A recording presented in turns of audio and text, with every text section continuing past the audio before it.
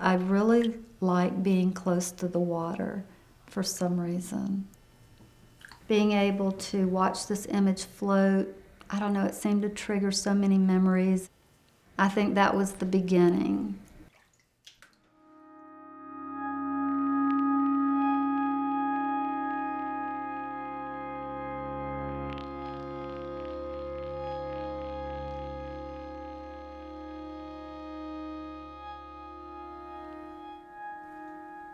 Most of the images are of uh, nature, and I think in nature you see your mortality, things blooming and living and dying.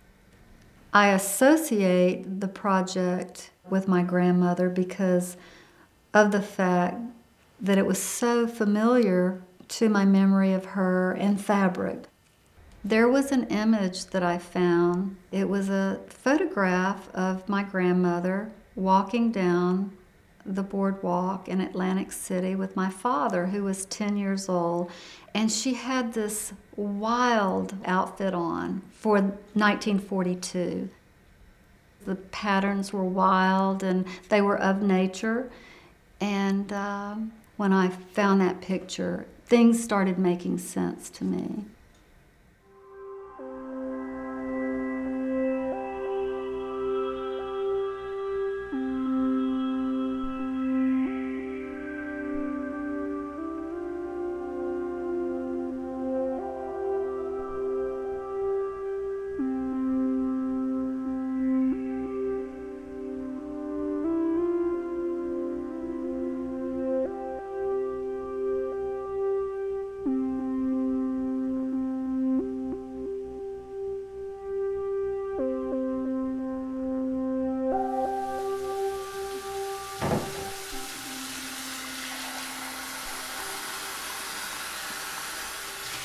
The technical aspect of emulsion transfer is to take a slide, project the, the slide onto Polaroid film, and at a certain temperature, you um, place the film inside the electric skillet and you wait for it to bubble up.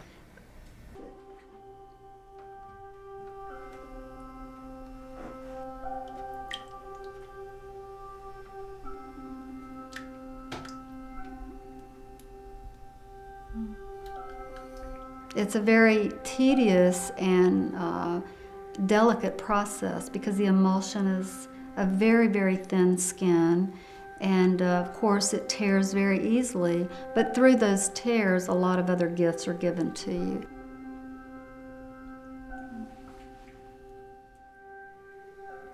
The relationship that I drew to this project and my grandmother was blood memory.